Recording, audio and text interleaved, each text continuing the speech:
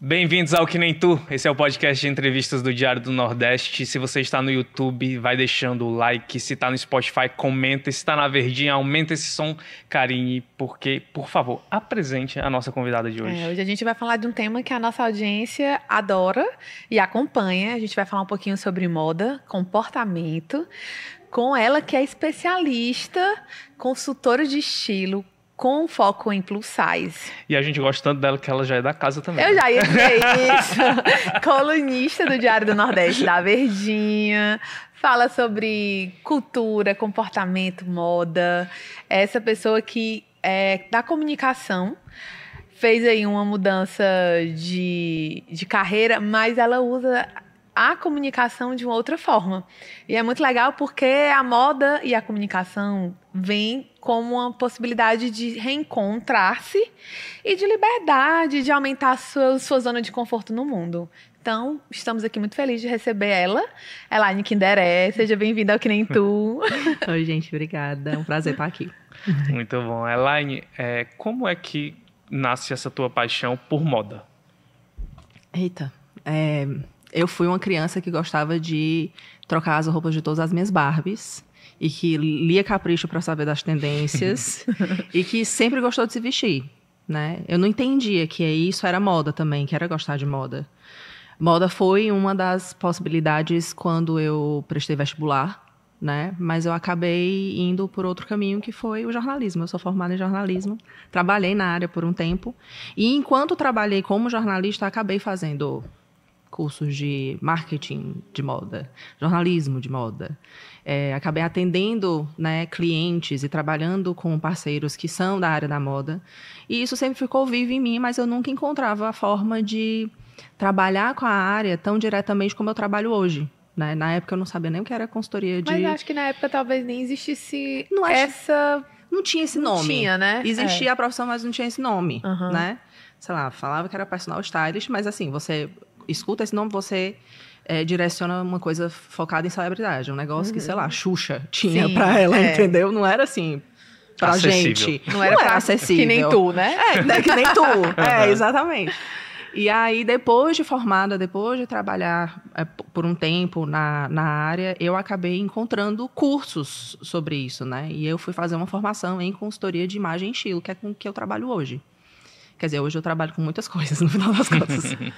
Mas o que é ótimo, faz total, é, tá em total sintonia com, com quem eu sou, com, de, com a forma que eu gosto de trabalhar. Mas, assim, é, quando eu disse eu não quero mais ser jornalista, que, assim, como é, é mordi a língua lindamente nesse momento, eu resolvi ser consultora de imagem e estilo, né? E aí é uma profissão que a moda, ela é o bisturi, ela é o objeto ali que eu uso para poder transformar a vida da pessoa, transformar a relação que ela tem com o armário dela. E é uma coisa que eu faço de pessoa jurídica, porque eu acabo sendo empresa, mas para pessoa física. Eu não atendo celebridade, eu atendo a pessoa normal, atendo a Carinha, uhum. atendo, atendo o Alan, atendo né, pessoas que estão próximas de mim, atendo familiar meu, uma amiga minha, né? E isso faz muito mais sentido para mim do que atender uma celebridade ou desenhar uma roupa ou fazer um desfile ou trabalhar com a moda da forma muito da, da forma mais tradicional é, é, tradicional. dela é. E assim aqui e aqui tô eu. E aí antes assim de, de dessa, dessa virada né de, de, de chave para o trabalho é, o, quando você entra no jornalismo que começa a trabalhar o que é que faz você dizer não não é para mim e, e, e aí eu acho que eu já ouvi você falando umas coisas que tinha, teve aí também um componente de saúde mental nessa história, né? Assim, tu Isso. pode compartilhar com a gente? Posso. Eu tive é, um burnout na última empresa que eu trabalhei, né? Eu trabalhei muito tempo em agência, né? agência de publicidade tem uma rotina muito, muito, muito é, estressante, muito incerta. E eu acho que no momento, naquele momento da minha vida, eu com 20 e muitos anos, eu tinha 28, 27, 28 anos, é, eu estava muito no momento de o que é que eu faço? Eu caso, eu compro uma bicicleta, né? uhum. né? E o trabalho, ele era, ele ocupava 95% da minha vida, porque eu acabava trabalhando no final de semana, acabava não tendo horário para terminar de trabalhar.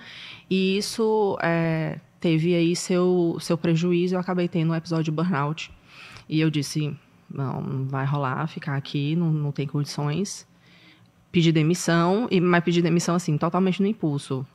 Pedi demissão, cheguei em casa e disse: o que, o que é que eu vou fazer? Não sei. Né? E fui pesquisar o que fazer. E foi assim que eu encontrei esse curso, né, de formação em, em consultoria de imagem e estilo, mas foi uma coisa que eu fui começar assim seis meses depois. Mas quando tu fez o curso, tu já tinha o foco que poderia ser virar um trabalho, assim? Comecei o curso, tipo, ah, tô aqui fazendo nada, bora. Né? Gosto. Né? Gosto. No máximo eu vou aprender uma coisa nova, uma coisa, na minha cabeça, muito diferente da que eu faço, né? Com, durante o curso eu percebi, ih, talvez eu não esteja tão distante assim da comunicação como eu esperava, mas tudo bem. E quando eu terminei o curso, eu disse, putz, quero trabalhar com isso. Eu quero fazer isso aqui acontecer. É, é isso. E Elaine, a gente estava falando que ah, antes nem é, esse trabalho de consultoria e estilo, né, é, as pessoas sempre associavam a celebridades e tinha outra questão também que as pessoas associavam a padrões quase inalcançáveis, né, de corpo. Então e quando você vai estudar, tu percebe um outro caminho para essa profissão, não é? Eu percebo um outro caminho, mas eu percebo forçando a barra. Porque a consultoria de estilo, ela é como a moda, extremamente gordofóbica. Né? O que a gente estuda dentro da consultoria de estilo é um entendimento que se iniciou, que se começou a estudar nos anos 50. Então, assim, é um, são os mesmos estereótipos, eles continuam sendo perpetuados até hoje, né? Então, cabe à profissional fazer disso, fazer desse limão uma limonada, que foi o que eu fiz, né? De interpretar esse conhecimento teórico que é antigo, né? Que ainda se baseia muito em é, em padrões muito específicos, em um corpo que é magro ou emagrecido, né? É, em uma mulher que é branca, em uma mulher que tem dinheiro e, e, tantas outras coisas, e poder adaptar isso a um público que é um pouco mais real e talvez um pouco mais próximo de mim. No meu caso, pessoas gordas, já que eu também sou uma mulher gorda. Né? Então, é, o, o, o, o curso em si, o tema em si, eu também tive a sorte né, de, e a possibilidade de é, estudar com pessoas que chegaram com essa teoria para mim e disseram assim, Elaine, esse é o conhecimento, é assim que é a teoria, mas a gente trabalha dessa forma. Né? E já me dá uma visão um pouco mais mastigada do, do que é que eu poderia fazer com essa informação. E de como é que eu poderia ser um pouco mais humana na, na hora de atender uma cliente, na hora de atender uma pessoa dentro da consultoria. Né? Porque se você vai, sei lá, uma das coisas que a gente estuda é biotipo corporal. Né? Corpo ampulheta, corpo pera, corpo maçã, corpo não sei o quê. Cada formato quer dizer uma coisa. E cada formato tem seus prós e contras, né? Alguns muito mais contras do que prós, né? Mas todos eles pensados de uma forma que o que é que a gente pode fazer para deixar essa silhueta que é uma em formato de maçã no formato de uma ampulheta, que é uma mulher magra de cintura fina com eh, seios mais é, projetados e um quadril mais largo, né? Então, no final das contas, é sempre pensando numa mulher que é magra. Tem muita gente da área da consultoria que ainda trabalha assim, não é o meu caso. Né? E foi aí que eu vi essa oportunidade realmente de chegar e dizer assim: eu quero trabalhar, de ser teimosa, né? Eu quero trabalhar com isso, mas não vai ser desse jeito. Mas então, quando tu é. encontra esse universo e, pensa, e dá um.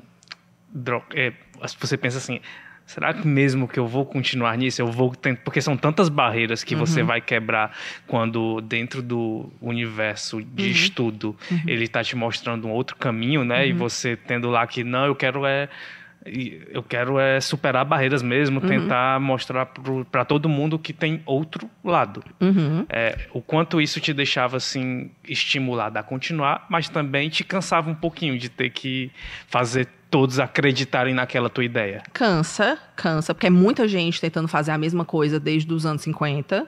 Mas eu sou teimosa demais. Eu sou muito cabeça dura. Então eu digo assim: eu vou fazer, eu vou fazer. Inclusive, pode nem dar certo, mas eu vou fazer só para irritar, sabe? Só para causar confusão. Então é, é, o, o, estímulo vem de mim para mim mesma, entendeu? Tipo assim, não é possível que eu não consiga transformar isso aqui em algo bom, em algo que eu, que eu possa acreditar, entendeu?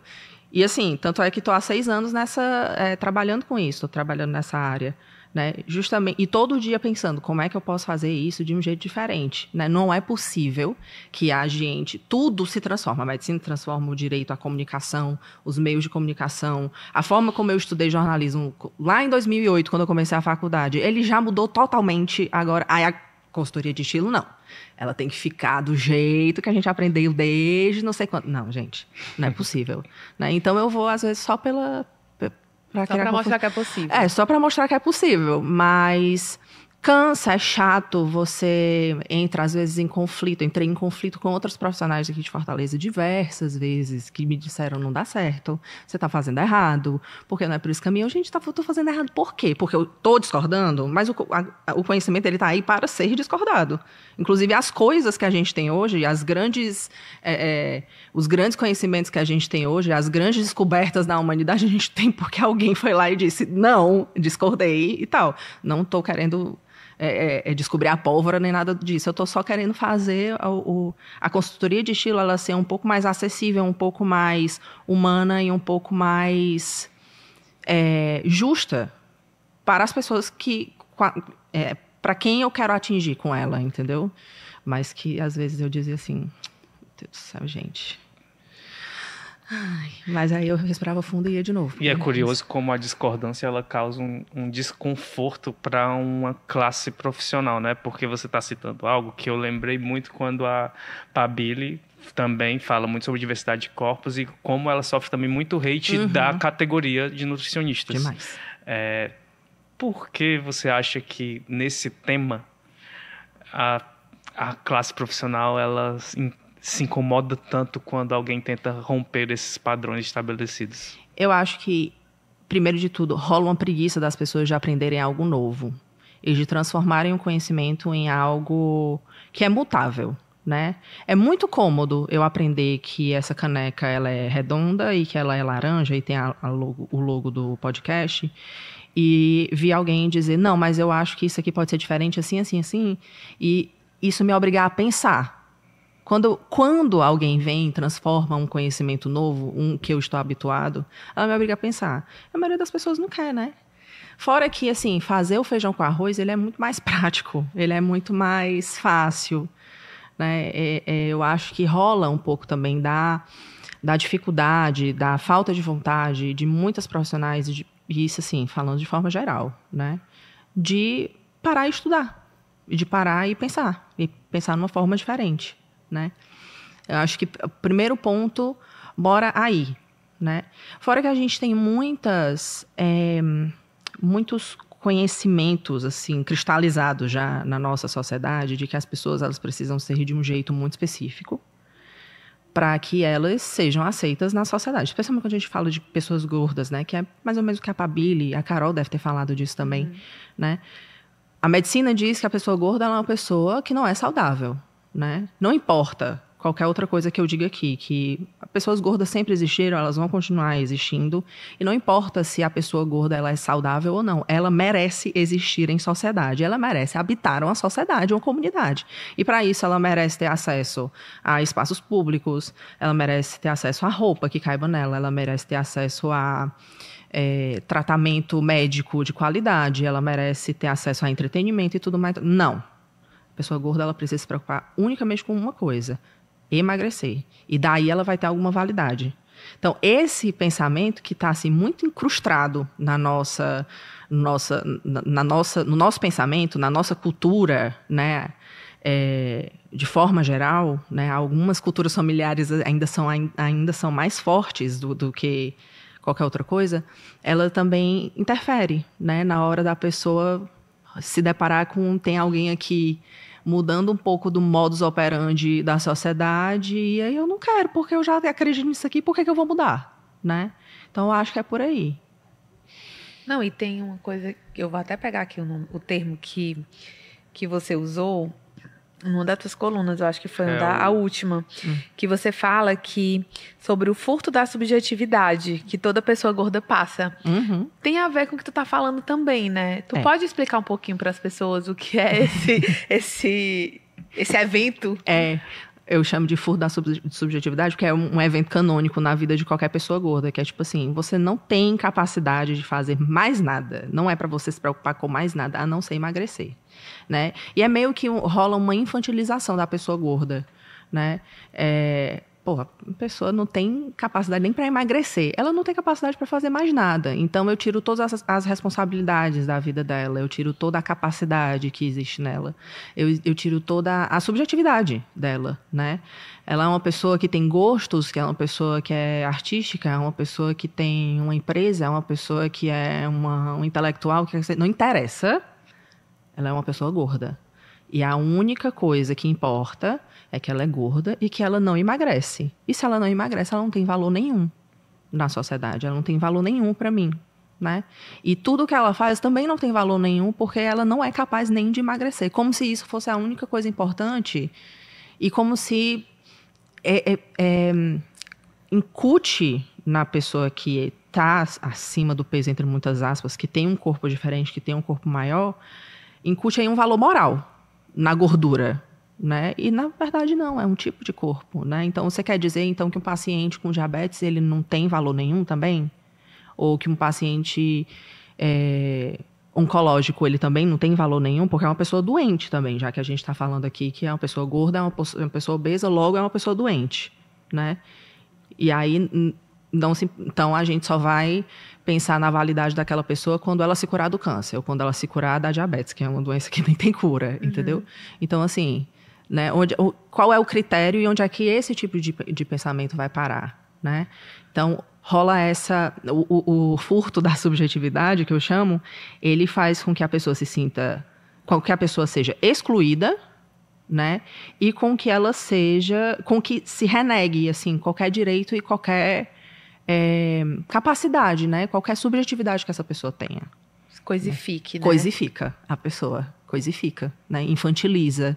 Que é mais ou menos como a gente trata criança. A gente não trata criança como pessoa, né? uhum, né? Sim. A criança não é uma pessoa que tem vontades, tem desejos, ela não sabe como comunicar. Mas é uma pessoa, uhum. né? É mais ou menos o que a gente faz com pessoas gordas. E por isso será que as pessoas se sentem tanto no no, no direito e é, muito confortáveis de de pontuar as questões relacionadas ao corpo, sei lá, de tipo assim, ah, você engordou, ah, você emagreceu, uhum. ah, mas será que você é, tá, tá comendo? E as pessoas vão falando isso de uma forma tão natural e que muitas vezes aquilo ali vai despertar gatilhos e as pessoas acabam utilizando é, desculpa de que tá preocupado com saúde, uhum. mas a, tá, às vezes, é atrapalhando a questão mental sim, daquela pessoa, sim, né? Sim, demais. Eu acho que é, quem faz esse tipo de comentário não está preocupado com a saúde coisíssima nenhuma, que se você tivesse preocupado, você estava pagando meu, meu plano de saúde.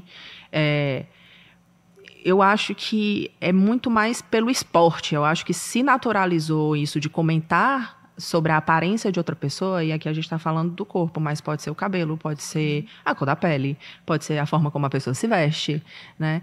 Então, se naturalizou falar da aparência da outra pessoa, e especialmente do peso. Acho que é uma coisa que é cultural nossa, né? A gente ouvir das nossas, nas nossas avós, ah, Alan, tá tão magrinho, tá tão gordinho, ah, porque não sei o quê, né? E de é, é, se sentir muito confortável em olhar para o prato da outra pessoa e ficar, não tá vendo? Por isso que está acima do peso, por isso que está assim e tal. Porque esse é, é, é, é como se fosse um saber comum que a pessoa gorda ela é doente, né? Independentemente, não interessa, não viu seu, os seus exames, né? Mas a pessoa gorda ela é doente, porque de fato a o entendimento do que é um corpo gordo e, e, o entendimento da gordura ela é muito fluida na história da, da, humanidade, né? Mudou muito o nosso entendimento sobre isso, mas é naturalizado. É uma coisa que tipo eu posso fazer. Porque no, o máximo que vai acontecer é eu dar uma risadinha, um sorriso amarelo e dizer, hum, é, é, eu tô meio assim acima do peso mesmo, né? Então é, é, é, é natural para as pessoas falar isso. Né? Tá tudo bem falar isso. E eu acho que as pessoas entendem realmente dessa forma e tá tipo. Ah, eu tô só comentando. É uma besteira, mas na verdade gera gatilhos, a pessoa fica mal, a pessoa fica triste. Uhum. Enfim, tem gente que, que ainda tá, apesar da gente tá, estar falando disso com muito mais força nos últimos anos, né, disso ser uma pauta um pouco mais forte nos últimos anos, Ainda tem gente que não chegou nesse lugar de dizer, de dar um, né, um, uma patada em alguém, dar tipo, né, de tirar a pessoa de tempo ou de daquilo não afetar. E assim, querendo ou não, determinado momento vai afetar, uhum. independentemente do quão bem resolvida você seja com o seu corpo, com a sua aparência. Elaine, também tem uma coisa que me incomoda particularmente, e eu queria saber se também como tu vê e como tu enxerga e, e se incomoda com isso, que é uma necessidade criada sem de fato haver uma necessidade, né? Porque há uma indústria que ela força você, como se disser, não, você precisa ter esse percentual de gordura, você precisa comer isso, isso, isso, porque você precisa ter esse peso, porque o ideal é ter isso ou aquilo. Uhum. É, e tem um mercado uhum. de nutricionistas mesmo, que eles se beneficiam dessa necessidade de, desse reforço, né? Uhum. Como tu enxerga esse, esse tipo de indústria, o quanto isso acaba sendo muito prejudicial mesmo para a vida? É, é, é lucrativo, né? Dá muito dinheiro. Quem quer ser gordo? Ninguém quer ser gordo. Né? Ser gordo não é bom. A, a, a, gente que fala disso, que torna essa pauta política, a gente não está aqui falando do tipo, vem ser gordo com a gente, é muito bom. Vamos todo mundo tomar dois litros de Coca-Cola aqui juntos e tal, não sei o quê. Como se só pessoas gordas fizessem isso, né? Porque as pessoas magras, todas elas, têm hábitos alimentares maravilhosos, claro, né? Mas, assim, é muito lucrativo eu é, ir por esse ponto, sabendo que existe uma parcela de pessoas que sofre com isso, que não passa na catraca, que não acha roupa, que não se sente bem em ambientes XYZ, que é, é que, que tem um escrutínio aí pelo corpo que tem, pela aparência que tem, pelo formato do corpo que tem, ninguém quer ser gordo, né? Então pegar por essa fragilidade é muito lucrativo para nutrólogo, para nutricionista, para a indústria da beleza, da, do, do, cosmético, do, da saúde mesmo, né? Tá aí, Ozempic e tantos outros. Da moda, né? É, que, da moda. É, a, a, moda também ela tem seu lugar, sua, sua participação muito forte nisso, a partir do momento que a gente vê tendências ressurgindo, né? Existe uma uma é, como é o nome?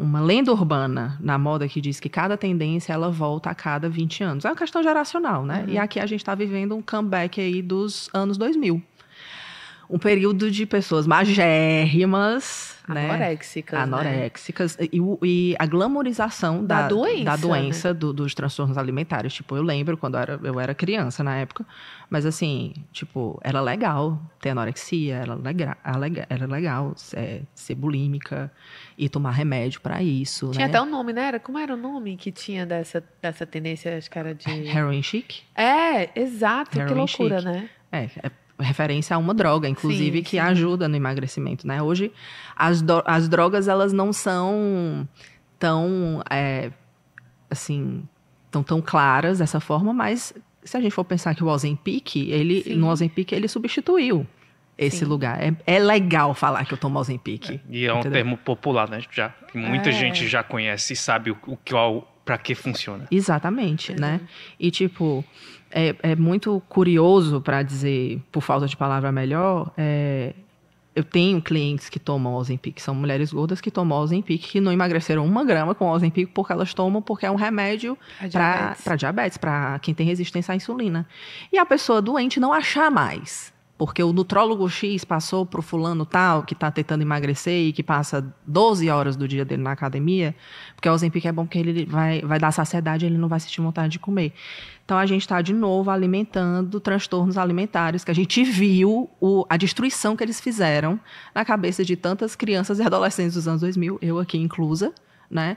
Então, é, é, é muito lucrativo para quem está nessa área. Para quem quer trabalhar com emagrecimento, emagrecimento e tratamento da obesidade, eu amo quando tem assim na bio dos nutricionistas e nutrólogos, né? Emagrecimento e tratamento da, da obesidade. Ou seja, vai passar o Zempic para você. É, ao invés de incentivar bons hábitos, é, bom, hábitos saudáveis, né? Não só, tipo, a, a, pessoa precisa tomar um remédio? Ok. A pessoa quer emagrecer? Ok. O meu problema, o problema de, de, do movimento anti-gordofobia, da galera que é ativista, não é esse, né? O problema é a glamorização disso, né? De que você só é uma pessoa válida quando você emagrece, né? E você só é digno de parabéns quando você passa de Maraísa dos anos de cinco anos atrás para a Maraísa atual, uhum. né? E aí entra até que a Maraísa atual, as pessoas já vão também criticar o corpo da Maraísa atual. Você, na verdade, nunca está ok, né? Assim... Nunca? Nunca vai estar tá bem, né? Um dia, foi um dia desse... Ontem eu vi uma foto da Gisele Bündchen, tipo, a maior modelo do Brasil, do mundo até, uhum. né? Uma das maiores. E ela tava de biquíni e, e shortinho, assim, na praia com os filhos, e eu acho que o namorado dela, o novo namorado dela, ou sei lá, qualquer coisa assim. Tinha um outro cara com ela.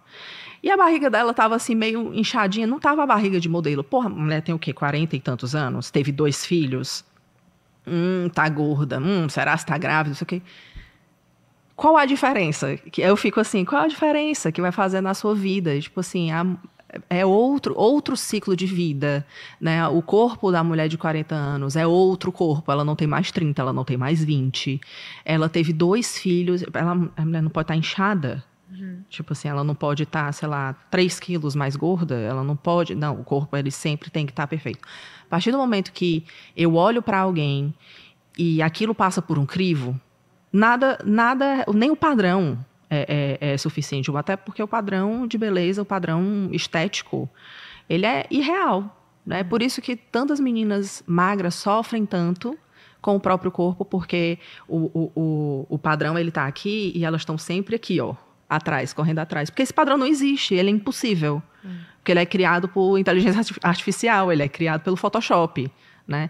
Aí a menina magra, ela toma café enlouquecidamente, porque isso dá saciedade, ela fuma, vape e tantas outras coisas, ela não se alimenta direito, ela usa drogas para é, diminuir a, a, vontade dela de comer, e aí ela faz tantas outras coisas e loucuras para poder, porque mas ela nunca chega perto daquele padrão, porque esse padrão ele é irreal. Uhum. E assim, chegou no padrão, Vai uma ter pessoa, um novo padrão, né? Vai ter um novo padrão. E vai ter uma pessoa que vai olhar e dizer assim: hum, não tá bom, não. Porque a pessoa, cada pessoa tem um crivo, entendeu? Uhum. E o, o, crivo principal, que é o nosso crivo, o meu crivo, sobre mim mesma, ele nunca é colocado como prioridade. E é, é o que deveria ser, Sim. né? É assim, é, é, eu não gosto da romantização do tipo, é você que tem que se amar. Mas é, vo, é você que pode cuidar de você, não é outra pessoa, uhum. né? E você Assim, é completamente possível que você viva uma vida inteira onde você não não se dá com o seu corpo, que você ainda tem uma coisa que você gostaria de ajustar, que tem uma cirurgia que você gostaria de fazer e tudo bem, né? Mas a, a o, modo que a gente opera na sociedade é de sempre basear isso pela opinião do outro. E o outro é uma pessoa que nem existe, que é esse padrão de beleza. Quem é? Quem, quem definiu? Homens? Não, obrigada. É, mas tu, você falou uma coisa que a gente também conversou no episódio da Carol, né? Que você falou assim: ah, é uma indústria que ganha dinheiro é, com essa magreza. Só que, ao mesmo tempo, ela poderia ganhar muito mais dinheiro quando ela enxerga as possibilidades que existem nos diversos corpos. Porque. É, tem eu, tem você, tem muitas outras pessoas que querem comprar, querem consumir produtos que são feitos para mim. E eu não consigo, uhum. porque eu não tenho acesso, né? Então, assim, na verdade, é, acaba que sendo ainda mais uma burrice ainda maior, né? Porque Sim. você está abrindo mão de um mercado que é um mercado que é mais de 60% da população. Então, assim, no fim das contas, a gente não sabe nem porque a pessoa está perdendo dinheiro, ainda está adoecendo as pessoas. Exatamente, não, não faz sentido. É, teve um momento do, da pandemia que, estudando sobre isso, e quando isso estava. Era, era quando o assunto estava pegando fogo nas redes sociais, né? Então, eu dizia assim: vai ser que nem produto para cabelo cacheado. Uma hora a indústria vai se tocar de que se ela começar a produzir coisas para quem tem cabelo cacheado, né, a gelatina perfeita, Sim. o negócio perfeito, o creme ideal e nananã, ela vai perceber que ela vai ganhar muito mais dinheiro. Mas esse momento ainda não chegou e eu tô me perguntando por quê, Por né? que, gente? E teve uma e teve uma, uma uma coisinha ali que dizia que vinha aí. E o que é que não deu certo? Eu estou procurando o motivo de não ter dado certo até hoje, porque eu chego. Quando, como eu entro muito em contato com marcas de roupa, né? Porque faço evento, porque tenho parceria ou porque eu levo a, cliente, aí eu faço questão de saber quem é a pessoa responsável por isso aqui, né? Para eu ter uma conversinha com ela. Eu, eu digo assim, gente, vocês estão de. Sabem, né? Que vocês estão deixando dinheiro em cima da mesa quando vocês dizem assim, ah, não vou fazer acima do GG. Porque é uma galera que chega aqui na loja de vocês e pergunta qual é o maior tamanho? Ah, o meu tamanho vai até o 42. E a pessoa simplesmente dá as costas e vai embora. Ah, mas é porque a gente quer investir só até o 42. Eu, tá, mas o 42 está vindo na tua loja? Ou está vindo 44, 46, 48, 50, 52? É, vem mais gente de tamanhos maiores. Eu, e o que, é que vocês estão fazendo, minha gente? Para de ser besta! E, mas não, continua na mesma. Não, não vamos fazer, não. Não sei, é, é um sadismo que eu não entendo. eu não entendo, de verdade. Né? Então, ao invés de. de assim, eu, eu, eu do ano passado para cá, eu percebi que isso diminuiu um pouco essa vontade, né, de fazer diferente, de, de ah, sou uma marca diversa, Sim. né, isso minguou um pouco, mas realmente eu não eu estou procurando o motivo de por que, as pessoas pararam, assim, não entendem que investir nisso é uma forma de ganhar dinheiro. Elaine, e como é que tu vai flutuando entre o otimismo e o pessimismo? Porque assim, como a gente falou, né, teve uma hora, hoje a gente percebe que esse tema ele se parece ganhar força e estar uhum. mais presente. Uhum. Mas ao mesmo tempo, como tu citou, uhum. a estética anos 2000 parece estar voltando com força. Isso. Então assim, qual o ponto agora? A gente tá, tu tá mais pro otimismo ou pro pessimismo? eu não sei, eu fico do lado e do outro, eu fico, ai, aqui tá bom, não vai dar certo, vamos lá. E no outro dia eu tô lá, não vai nada, vai dar certo, tá tudo horrível. Tá é porque, péssimo. é porque outro ponto que eu sempre reforço, né, e vejo assim, é, principalmente por no que nem tu, a gente começou a entender mais algumas coisas, conhecer mais pessoas na internet que falam sobre diferentes coisas, né? Uhum. E a gente percebe a força da Carol, da Pabili, a tua força também, é, como tem crescido. Mas ao mesmo tempo, o nível de hate que vocês sofrem também, ele também é muito alto. E aí eu fico sempre é, flutuando entre o otimismo e o pessimismo. Uhum. Como é você? É eu fico realmente assim numa corda bamba, né? Eu acho que eu acho não, eu tenho certeza. É, se fosse no momento onde as redes sociais não fossem tão fortes, eu estaria 100% pessimista, porque eu não ia ter uma rede de apoio, uma rede de pessoas que está junto comigo nessa. O fato de eu conhecer gente daqui, de ter a Carol, de ter a Pabili, de ter tantas outras, é. né, aqui, tem muitas meninas aqui, de ter gente de São Paulo, gente que começou há 20 anos a falar disso, e que, onde a gente pode não só desabafar e dizer vários palavrões, né, sobre essa indústria e sobre a moda e sobre tantas outras coisas. Isso facilita, né, a, que a gente se movimente de alguma forma e, a, e que a gente não fique com a sensação de eu estou em casa sentada esperando alguma coisa acontecer ao meu favor. A gente tem um pouco, é, acaba que a, a, rede social, né, o fato dela proximi, é, ter, pro, ter dado essa proximidade tão grande para a gente faz com que a gente se sinta parte de uma possível mudança, né? E de fazer a mudança acontecer, né? Então, isso eu acho que eu fico mais do lado do otimismo, mas eu tenho dias que eu, que eu fico bad, eu fico mal. Mas acho que porque eu tenho essas pessoas nas quais eu digo assim, hum, beleza, não, qualquer coisa tem isso aqui, tem esse evento, tem essas pessoas tentando fazer diferente, ainda tem gente, ainda que pouca, pensando nesse público, tentando pensar em possibilidades, em, em não, em que esse movimento ele não mingue com a, a nova estética, os novos modos de se entender um corpo e tudo mais. Isso faz com que eu, a gente, eu acho que faz com que todas nós, é, a gente não esmoreça mesmo. A gente não olha assim, é, já foi, não deu. Ao mesmo tempo, né, Elaine, assim, tu falou da, dessa, da rede social como lugar de impulsionamento e de, de conforto, mas ao mesmo tempo ela pode ser muito ruim, né? Porque assim, ela tá falando isso, a gente às vezes sai, sai da, da, do que nem tu, é todo mundo, ai meu Deus, que bom, isso. Aí você vê nas, os comentários às vezes nas redes, aí as pessoas muito paias, assim, muito gordofóbicas, muito violentas, assim. Uhum. E aí você fica. E aí eu pergunto assim, você meio que mudou uma carreira por conta da saúde mental. Uhum. Isso impacta na tua saúde mental? Assim, isso é, é, você vê, ter, assim, eu não sei se você sente esse hate, né? Assim, mas em algum momento deve ter sentido. Uhum. E isso te impacta? Já chegou a pensar, meu Deus, eu não mereço estar aqui falando nas redes sociais sobre Uhum. isso, porque eu estou aqui falando para tentar modificar um sistema e ao mesmo tempo estou sofrendo violência continuada, né? Assim. Uhum. Eu recebo muito hate. Assim, eu tento não propa- propagar isso, eu tento não. é, tem dias, óbvio, de novo, que eu fico muito mal, né? Mas eu faço terapia. Sou show. É, mas eu- a terapia me ajudou muito nisso em entender que, tipo assim, não é sobre mim, é sobre a outra pessoa. Né? Óbvio, eu amo receber as mensagens que eu recebo, eu não amo receber as mensagens que eu recebo. Mas assim, quando a mensagem é tipo, gorda burra, sua gorda e burra, eu fico gorda, óbvio, eu falo disso, é uma obviedade, por favor, não precisava nem ter dito. Burra, obviamente você não tá conseguindo entender o que eu tô querendo passar aqui, então talvez não seja eu a pessoa burra. Então, assim, é muito violento, é, assim, se, não- sem fazer comparações, mas assim, existem hates piores, né? Acho que nunca chegou a esse ponto.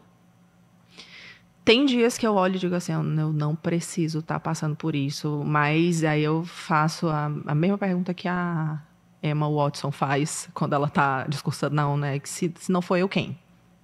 Né?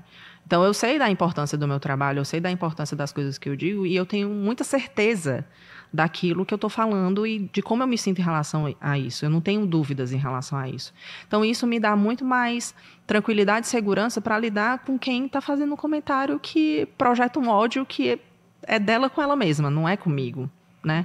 E eu não e, e- e aí eu fico, eu não vou consertar essa pessoa. Não é essa pessoa que eu quero ajudar. Não é essa pessoa que eu estou tentando é, mudar a visão. Né? A pessoa que, que, que vai dialogar comigo é outra pessoa, e essa pessoa ela vai chegar. Né? E ela vale por mil hates, ela vale por mil pessoas. Eu não tenho, eu não tenho a menor pretensão de mudar uma sociedade inteira que está aí intrincada nessas, né, nesse tipo de pensamento. é, mas o, o- eu, eu tento me manter firme nesse propósito. Né? Óbvio, quando aparece a mensagem, eu fico. "Hum", né? Mas aí eu tento não ver os comentários, eu finjo que não é comigo, né? Eu vejo as coisas boas, né? Eu mando alguém assim, vê os comentários, só me diz as coisas boas. E aí as coisas boas que vêm também, né? É, e, e o que é, e o, que é, o que é bom que vem, né? Uhum. Não necessariamente um cliente, mas uma pessoa que diz assim, putz, a forma como você falou mudou a minha, a minha forma de enxergar isso. Ah, eu sempre pensei isso, mas que bom ver uma pessoa falando por mim. Putz, isso pra mim é Sim. Sensacional. Um dos melhores elogios de, de saber que, tipo, eu tô verbalizando o que outras pessoas não conseguem verbalizar, né? É, e aí quem tá, ai, mas romantizando a, go- ah, romantizando a obesidade. Eu só, ai, meu Deus Revira do os céu. olhos, né? É, eu só reviro os olhos e digo assim, é, sou eu que tô romantizando a obesidade, claro, romanti- é isso mesmo.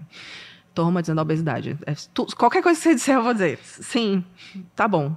E vida que segue. Eu, eu tento, eu tento me, é, me focar nisso.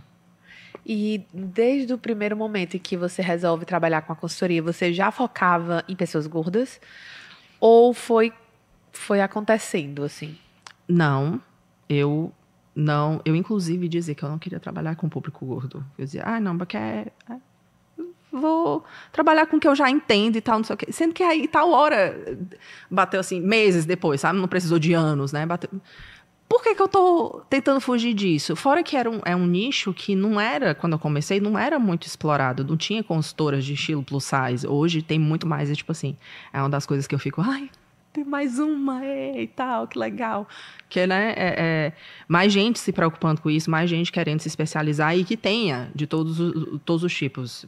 Mulheres consultoras de estilo especialistas em pele preta, mulheres é, consultoras de estilo especialistas no público gordo, mulheres é, consultoras de estilo especialistas em é, pessoas com deficiência e por aí vai. E mães. E assim, o nicho que você inventar vai ter alguém ali precisando dele específico. Mas eu não queria, sei lá porque eu estava muito louca, eu acho, nesse dia. E aí depois eu disse, gente, mas eu sei comprar roupa para mim, eu sei comprar roupa para pessoa gorda. Eu vivo pesquisando isso, eu estudo isso o tempo inteiro. Por que, que eu não vou utilizar isso para esse trabalho que tem essa necessidade. Se eu estou querendo fazer aqui a diferença, querer pegar esse, esse conhecimento e transformar numa coisa legal e humana, que eu use desse conhecimento pessoal né, e coloque isso em prática dentro da consultoria. E assim foi. E assim e estou aqui até hoje, né? Não necessariamente só atendo pessoas gordas, mas hoje em dia é uma parcela muito grande das pessoas que eu atendo, muito grande mesmo. Elaine, como é o trabalho de consultoria especificamente, assim, você, porque eu imagino que você faz muitas pessoas a, aprenderem a se gostar, né? Você acaba ajudando a pessoa a se identificar e, e, e de fato, no, lá no fim, ah, agora estou vestindo do jeito que eu gosto e do é. jeito... É isso? É isso. É isso. Não é para a pessoa aprender a se vestir bem, porque o, o, se vestir bem ele é muito relativo, ele é muito é, subjetivo, mas é ter uma boa relação com o que você veste, ter uma boa relação com o espelho, né? E ter uma boa relação com o seu armário, né? Não é, é, é inverter a lógica da moda de que você precisa ter muitas roupas e toda vez que você sentir dúvida na hora de se vestir, você precisa de uma brusinha nova. E toda vez que você senti, se sentir mal é porque você precisa de um acessório novo. Que vo... Não.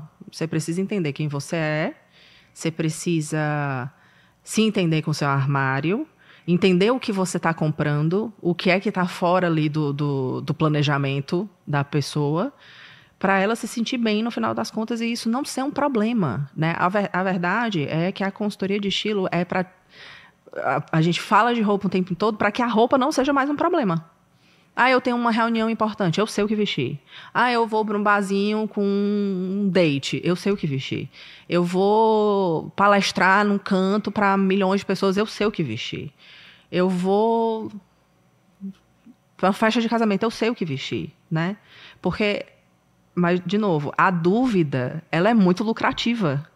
Quanto cruel. mais dúvida. É. é, e cruel. Quanto mais dúvida a gente tem, mais a gente compra. Mais a gente diz assim: ah, eu vou levar essas duas roupas e no dia eu, eu vejo o que é que eu visto. E no, no, dia você não veste nada. Você veste uma coisa que você já tem. Né? Então, assim, o, o trabalho, é, eu não, não, gosto dessa palavra, mas é um trabalho de autoconhecimento. Né? Que destruíram o significado dessa palavra, aí eu fico com ranço das palavras. Mas é um trabalho de autoconhecimento, né? De você entender quem você é naquele momento, o que você quer, aonde você quer chegar, né? E saber e ficar muito tranquilo com o fato de que estilo e roupa e o que vestir é um negócio transitório na nossa vida. Hoje em dia a gente está assim, amanhã a gente está assado e tudo bem e saber lidar com essas mudanças. Né? E a gente só sabe lidar com essas mudanças quando a gente tem conhecimento. E, e o conhecimento de si mesmo, ele é um conhecimento muito caro, porque nem todo mundo está preparado para olhar para dentro e para olhar para si mesmo e dizer assim, eu sou assim. Né? É muito mais fácil olhar para a revista, olhar para a blogueira, ver o que é que ela está usando, revista, né? Muito anos 2000, né? A pessoa que deu capricho. Mas olhar para a blogueira que eu sigo e ver o que é que ela está usando e tentar imitar aquilo ali e olhar no espelho e dizer, hum, não gostei, mas é o que tem, uhum. né? Então é um, um, um, um, processo muito maior do que só comprar roupas e ter roupas e ser estilosa, porque outra palavra que amam falar, mas ser estilosa é uma coisa muito, muito, muito particular. É, outra palavra que está reinando nas redes sociais que as consultoras elas estão amando falar, tipo, a, a, mulher é elegante, você tem que ser elegante, e, tipo, entender também onde é, quem é você na fila do pão. Uhum. Basicamente isso, né? E esse é o processo da, da consultoria de estilo, né? De te dar informações e de, e de você ser um caminho viável. Né? Eu gosto de pensar que eu sou um caminho de possibilidades. Não uma pessoa que vai chegar para ti e vai dizer assim, não pode usar isso, pode usar aquilo. Odeio. Isso não... aí ainda usam? O, o quê? Tipo assim, não pode. Tipo assim, precisa ser elegante, você tem que usar um salto. Amada, né? Uhum. Pode ser elegante de tênis. Ah, você quer parecer uma mulher de sucesso? Coloca um blazer. Eu fico pra morrer. eu quero, assim, que a terra me sugue quando alguém diz isso. Porque, assim, eu fico. Gente, tantas possibilidades uhum. para a pessoa parecer uma pessoa de sucesso. Até porque o que é uma pessoa de sucesso? Vamos Exato. começar daí. É. Né? Eu tenho. É, é, muito complicado, assim, quando chega uma pessoa meio desavisada perto de mim e diz assim: ah, eu quero fazer uma consultoria. Que eu quero me vestir bem. Eu, tá, mas eu quero se vestir bem para ti. Aí a pessoa fica. Que? Se, Mas se acho que vestir bem. talvez isso aí é a primeira pergunta que você É, mas- vai mas- fazer, né? O que é que você quer, né? É, e, e a- às vezes a pessoa ela não está pronta para essas perguntas, né? Eu canso de ter tipo, a, a primeira reunião com o cliente e eu chegar assim, mas o que é bem? Aí a pessoa fica, "Ah, nunca parei para pensar nisso. Aí depois eu vou pensar agora, o que é que você quer se vestir bem? Não, eu quero parecer uma pessoa elegante. Aí eu, mas o que é uma pessoa, uma pessoa elegante? Não, eu- dentro da minha área, eu tá, você é professor de educação física. O que é ser elegante sendo professor de educação física? Você vai usar um blazer para dar aula de educação física? Você vai usar um escarpão preto? Ela, não, não tem como. Aí eu, então a gente precisa pensar nesses conceitos. É, e é isso que eu falo de que o conhecimento da consultoria de estilo, ela, ela é muito, ela está muito datada, né? De que a mulher elegante, ela usa salto, ela usa vestido, ela usa tons sóbrios e tal. E, você pode ser elegante de várias outras formas. Pelo, pelo amor de Deus, a quantidade de informação que a gente tem hoje, a quantidade de possibilidades, de marcas novas, novas surgindo. A gente precisa estar nesse lugar estereotipado, nesse clichê, né, falando as obviedades, né? Cada pessoa é uma pessoa, cada pessoa tem uma rotina específica e eu preciso e, e o vestir ele precisa acompanhar isso, não o contrário, né? Ele precisa acompanhar a vida da pessoa, né? E a gente está num mundo onde não tem ninguém, ninguém.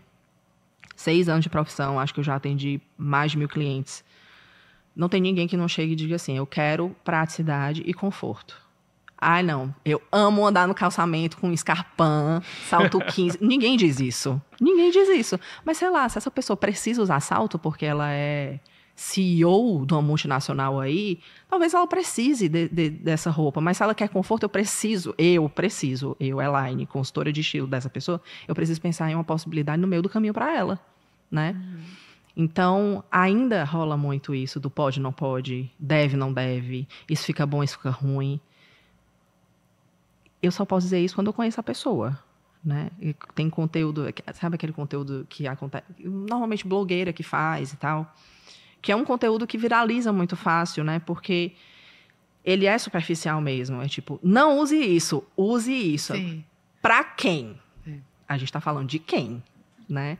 Então não dá para, por mais que a consultoria de estilo ela seja uma profissão muito prática, porque eu vou comprar, porque eu vou montar look, porque eu vou tirar o que não, o que não faz mais sentido do armário e ser esse, esse, essa área muito prática, ela também tem a sua carga de subjetividade, de particularidade e de estar muito atenta aos detalhes de cada pessoa.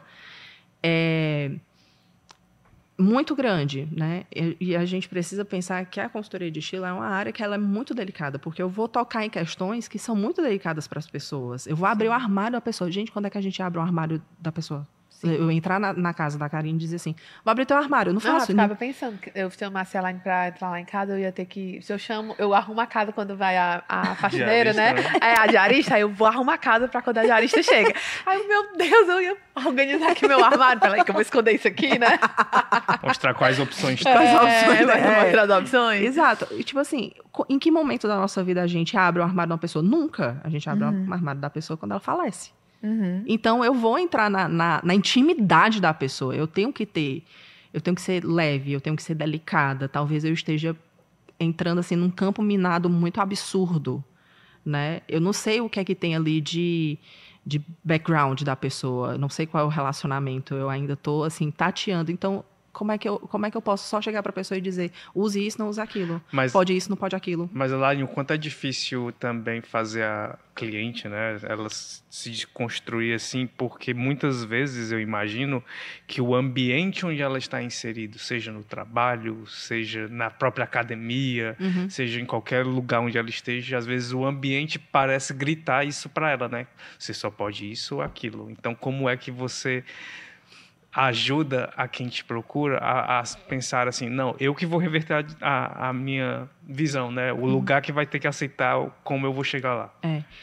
a, a cliente ela precisa estar aberta, né? Ela precisa estar aberta. Se eu, eu tenho isso muito é, certo para mim, que é se a pessoa me procura especificamente, ela está aberta para essa mudança, né? Talvez não seja o caso com outros profissionais, mas eu eu vou tateando e sendo a medi eu vou sentindo a cliente, né? O tanto de é, Espaço, né? espaço que ela me dá é o tanto que eu vou tateando esse espaço, vou é, entrando na cabeça dela e fazendo perguntas que às vezes ela não sabe a resposta, né?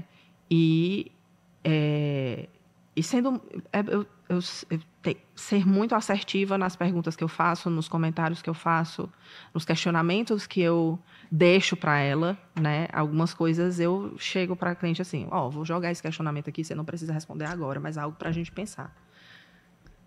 Chego, né? E às vezes é um, um susto para cliente e tal, mas é, é com, com o tempo, com você vai criando meio que prática de porque tem muitas dores que elas são muito parecidas umas com as outras e aí você já já meio que sente com, como e quando você pode lidar com aquilo, né?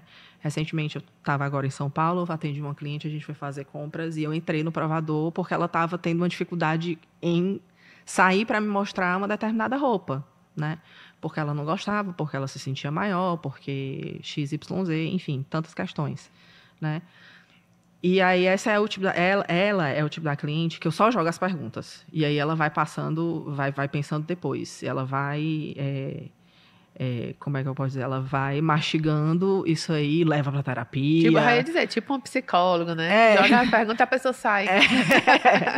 Porque tem coisas realmente que elas não estão dentro do meu âmbito de trabalho, uhum. né? Mas que lidam profundamente com as emoções dela. E eu é isso. É um trabalho que se assemelha muito com a terapia, mas eu não sou terapeuta, eu não sou psicóloga, uhum. né? Quando eu sei que a cliente vai para terapia, eu digo assim: leva esse, negócio aqui para terapia. Quando é que tu tem terapia? Ah, eu tenho amanhã. Pois leva esse negócio aqui bem aqui, porque é com ela que você tem que lidar, não é comigo. Depois você traz o, o, o resultado e a gente resolve em formato de roupa, né? Mas o. Tanto que uma das coisas que eu estudo muito é psicologia. Não porque eu, eu quero é, ocupar o lugar do psicólogo, eu tenho nem condições de fazer um negócio desse.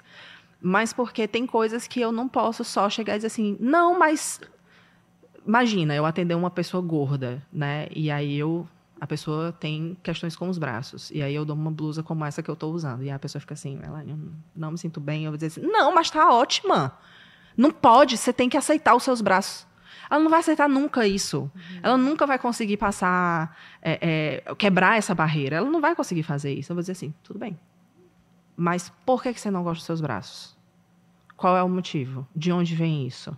Se a gente pegar uma manga que é um pouco menor, e aí eu vou tentando descobrir qual é o meio do lugar possível com essa cliente, né? Uhum. Esse é o papel da consultoria de estilo. Não, não para mim, o papel da consultoria de estilo não é nem chegar e dizer assim, não, mas tem que usar. É, é o que é bom para você. Eu não sei o que é bom nem para mim, gente. Eu vou saber o que é bom para outra pessoa. Eu ouvi tu falando e eu acho que é, é um sinônimo do que tu tá disso tudo que falou, que o que tu vai fazendo é ampliar essa zona de conforto. Você não vai tirar o conforto de alguém, né? Você não. vai, sei lá, se eu não uso é, roupa sem manga, vamos ver até onde você consegue deixar confortável essa pessoa. Exato. É. é. O que eu faço é justamente ampliar. O que eu tento fazer com a cliente é pegar essa zona de conforto dela, que é desse tamanho. Odeio a frase, saia da sua zona de conforto. Se fosse ruim zona de conforto, ela não tinha esse nome. É verdade. Certo? E eu vou fazer isso aqui. E eu vou até onde a cliente aguentar, ou até onde ela quiser, até onde for possível para ela naquele momento. E depois, e assim, não é magia, não é tecnologia, é prática e conhecimento, que é a cliente ela vai fazendo isso naturalmente, até chegar um momento onde ela diz, daqui para lá não me interessa, né? E ela ficar de boa com isso. E depois né? sozinha, né? Termina, sozinha. termina a consultoria, o tempo da consultoria, a pessoa vai acontece né? demais. Não gosto de usar blusa sem manga. Não gosto de mostrar os meus braços. Por quê? De onde vem? Se a gente testar isso, é melhor? Se a gente testar aquilo, é melhor? Seis meses depois aparece uma foto no meu, no meu WhatsApp. Olha o que eu estou usando hoje. Estou usando uma blusa sem manga. Eu consegui sair de casa hoje. Eu fico por dentro, né? Taurina. Eu disse, eu tenho razão sempre. Mas eu fico, ah, parabéns, arrasou, adorei, adorei o look, tarará, tarará, tarará. Pronto. Elaine, você citou falas de pessoas que te acompanham nas redes sociais que você fica feliz, né? E pelo fato de, né, elas dizerem para você, principalmente quando você verbaliza aquilo, aquilo que elas queriam dizer. Mas nesse trabalho com consultoria, há histórias que mexeram contigo, que você, após o fim do trabalho, você percebeu uma mudança que deixou a pessoa muito feliz e, e se gostar e ela, e ela te deu um retorno que te deixou animada assim? Sempre. Sempre. Acho que não tem uma vez que eu não termine uma, uma consultoria de estilo que eu não fique. É, é uma mistura de. É agridoce demais. É uma mistura de acabou, ela tá livre, o trabalho foi massa, ela vai fazer isso sozinha por ela, ela vai se vestir de forma tranquila e ao mesmo tempo dizer assim, eu não acredito que eu não vou mais atender ela, ela é tão legal, ela é tão maravilhosa. Assim, é, as histórias maravilhosas, assim, são várias, assim, de mulheres que é, conseguiram quebrar com, com padrões que eram muito né, fortes ali de mulheres que galgaram espaço dentro da empresa que estavam trabalhando por causa disso. Isso não só não é a roupa que fez isso por ela, óbvio, a mulher para ela a pessoa, né, para para ela é, ser promovida no trabalho tem outros quesitos, né? Mas a, a, a roupa de uma forma deu uma segurança para ela que ela precisava, né? É, o processo de consultoria, né? Ela conseguiu transformar uma insegurança numa segurança ali, e aí eu não sou eu que faço nada, eu só ela, ela faz isso por ela mesma, né? E, e tantas outras, assim, de mulheres que estavam no puerpério e que, nossa, esse período está muito mais tranquilo, está muito mais de boa passar por esse período, eu consigo me arrumar, eu consigo me organizar. A roupa não é um problema, eu não passo muito tempo me vestindo, eu consigo ter tempo para tudo. É até mulheres que tinham relacionamentos difíceis, né? Relacionamentos com, com um certo nível de, de abuso, vamos dizer assim, que saíram do relacionamento, né? E, e conseguiram se libertar disso. Eu já atendi algumas clientes que passaram por isso. Em momento nenhum eu interferi, né? Eu só jogava assim, mas será se você merece passar por tal coisa, né? Então, assim, eu eu coleciono histórias de pessoas que conseguiram alguma coisa ou que simplesmente saíram muito felizes e muito realizadas do processo de consultoria. E isso, para mim, já é, tipo, motivo de soltar fogos. A pessoa diz assim, ah, Elaine, foi ótimo, foi massa, eu estou muito feliz e tal. Não precisa um grande acontecimento para ficar feliz, né? Mas tem demais, assim, é, causos desse tipo. E, Elaine, assim, você fez o, o, a, tua a tua consultoria aqui, tu resolve mudar de vida aí uhum. com o time da assinatura de estilo, né? Isso. né? E aí depois você foi convidada a integrar esse time, né? Assim, é. e aí como é isso? E mais, assim, é, vocês formam é, outras consultoras, né? E aí você leva um olhar também para para essa marca uhum. de mais inclusão, assim, de, de, de falar assim, olha, eu sou aqui do Nordeste, também é outro ponto, né? uhum. né? Assim, do tá no Nordeste, uhum. é, com foco em mulheres gordas, pessoas gordas. E aí isso amplia o olhar delas, amplia essa, esse desejo de empresa uhum. e também amplia essa possibilidade de formação de novos, novos profissionais.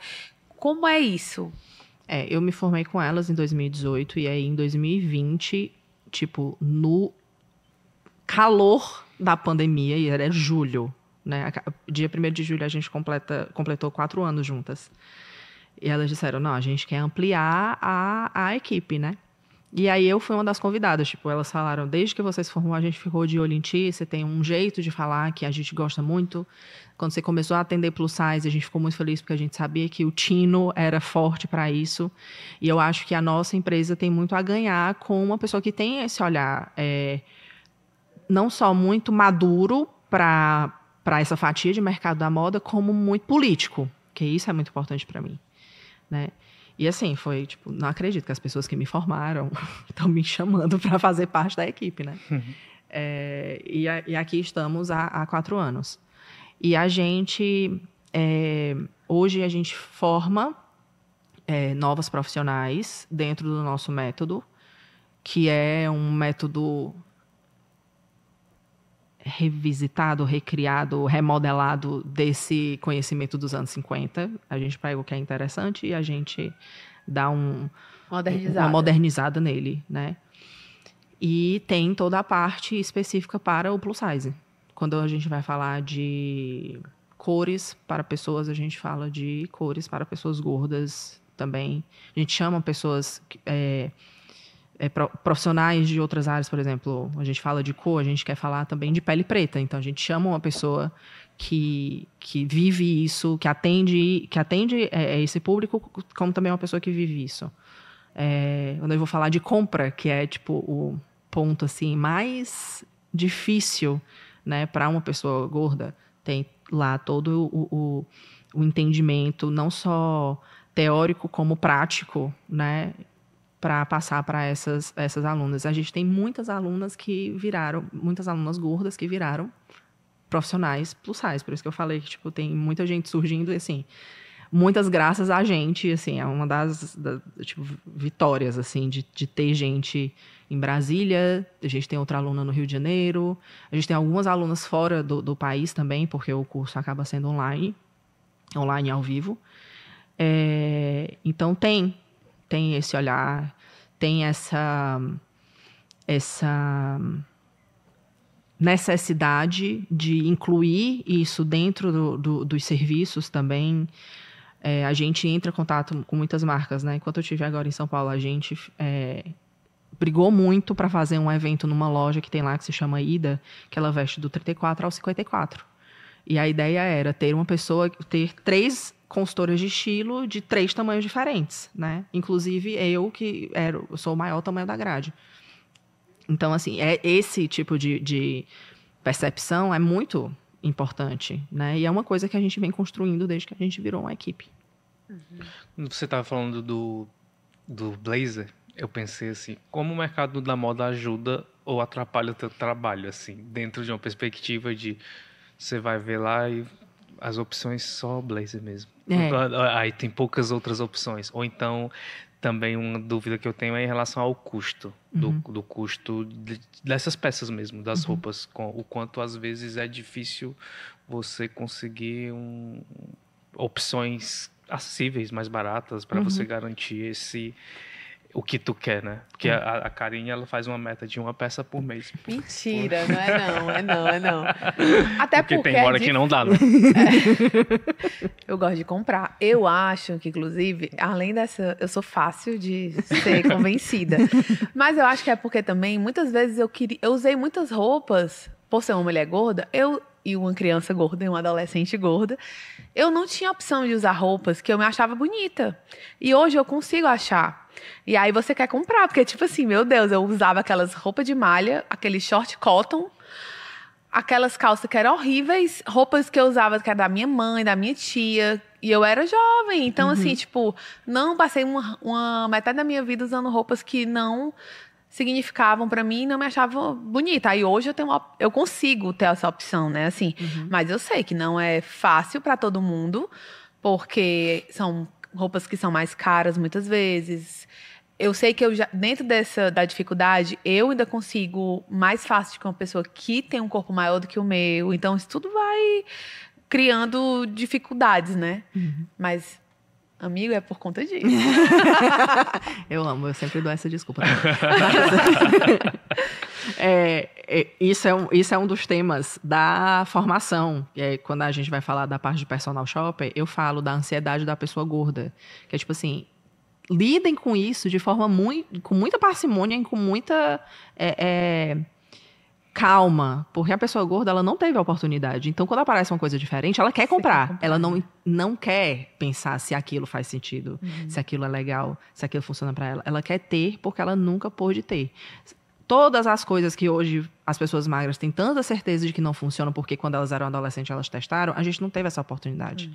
Então, quando chega do nosso tamanho, a gente fica assim: eu preciso comprar. E é difícil controlar essa ansiedade, é difícil controlar esse esse eu não sei nem se controlar é a palavra, porque, tipo, a gente não teve oportunidade. Então, que a gente tenha a oportunidade agora. Se, uhum. se aquilo não, não, não vai causar um problema para você, eu sou totalmente a favor, né? É, mas falando especificamente na hora de atender uma, uma, uma pessoa gorda ou não, né? Na hora de comprar, né? Não se resolve um guarda-roupa em uma tarde. Isso é uma coisa que a gente deixa muito, muito é, clara para cliente. A gente vai fazer uma, uma tarde de experiência em lojas. A gente vai te levar em uma, duas, às vezes três lojas que tem a ver com seu estilo, que estão dentro do seu orçamento, que tão, que uma peça ali tem um valor que você topa pagar. Isso é uma das coisas que a gente pergunta. E você vai ter uma experiência nova. Você vai entender sobre caimento, vai entender sobre a roupa, por que, que, aquela, por que, que eu estou te apresentando essa nova modelagem de blusa e não aquela que você está acostumada a usar. Por que, que eu estou te apresentando aqui uma opção de kimono alfaiatado e não blazer. Uhum. Porque faz mais sentido e isso, por que, que isso é, é, é, mais interessante do que aquilo? Por que, que a gente não vai fazer substituições, a gente vai fazer acréscimos dentro do armário, né? Então é muito mais sobre a pessoa ir lá e é, se colocar nesse lugar que nem todo mundo ama, que é sair de casa para comprar roupa, experimentar roupa e pagar, não é um processo massa para todo mundo. Tem muita gente assim, ai, ai, tem que ir mesmo. Tem, sim. Vai sim. É, porque é outro, é, é, é, outro panorama, é, outro, é outra percepção que a pessoa tem, né? E ali eu posso apresentar outras, outras coisas para ela. Mas eu só faço aquilo que é possível para minha cliente. Eu só consigo apresentar uma loja para ela se é aquilo for possível para ela, né? Eu não posso, a pessoa, se a pessoa me diz assim, Elaine, eu não compre fast fashion, porque eu tenho preguiça de olhar para aquele mundo de coisas, aquele mundo de possibilidades, e eu fico nervosa. Mas a gente vai em fast fashion. Mas a gente vai para você entender como um olhar criterioso funciona. Elaine, eu não. Eu tenho um tamanho que eu não acho em qualquer loja, então a gente vai comprar online. Né? Elaine, o meu tamanho eu não acho em qualquer loja, nem online, então a gente vai comprar na Shein. Ou a gente, Elaine, eu acho 200 reais numa blusa um valor absurdo. Ok, então a gente vai numa loja que seja menos. Qual é o valor que você acha ok pagar por uma blusa assim, assim, assado? Ah, 150 reais é o máximo. Pois a gente vai numa loja onde seja esse, esse, esse limite de preço. Ainda que eu apresente alguns desafios para a cliente, eu tenho que trabalhar com o que é real para ela, né? E o que é real para ela é onde ela está hoje, o corpo que ela tem hoje e o bolso que ela tem hoje. Eu não posso só chegar e dizer assim, não, a gente vai comprar na loja X, onde as peças custam em média 500 reais, porque é melhor, porque eu gosto, porque é bonito e tal, não sei o quê. Ok, pode ser lindo, pode ser maravilhoso. P poderia ser a loja perfeita para minha cliente, mas eu não vou criar mais uma questão para ela, né? Eu não vou criar mais um mais um obstáculo na hora de se vestir, que é esse entendimento de que roupa boa é a roupa cara, de que roupa boa uhum. é a uhum. roupa de marca, de que look bonito é o look onde eu comprei essa roupa aqui numa loja X no Iguatemi, a outra no Rio Mar e a outra numa loja de grife aí quando eu viajei e eu tá trabalhando com pessoas que são assalariadas no final das contas, né? Eu preciso ser é, coerente, precisa ter coerência, né? Então, é, é, eu, eu a, a, as possibilidades da cliente são o meu guia nessa hora. Né?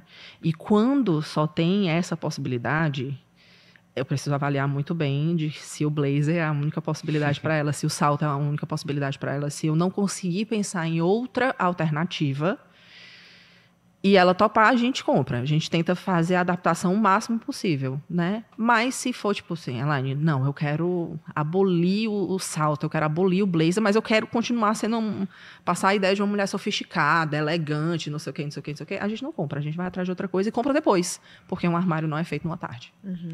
Elaine, a gente está perto de encerrar o episódio, mas antes eu não podia fazer uma pergunta que é a seguinte: como é que a consultora de estilo que abandonou o jornalismo acabou também virando, escrevendo para um site, um jornal e falando em rádio, né?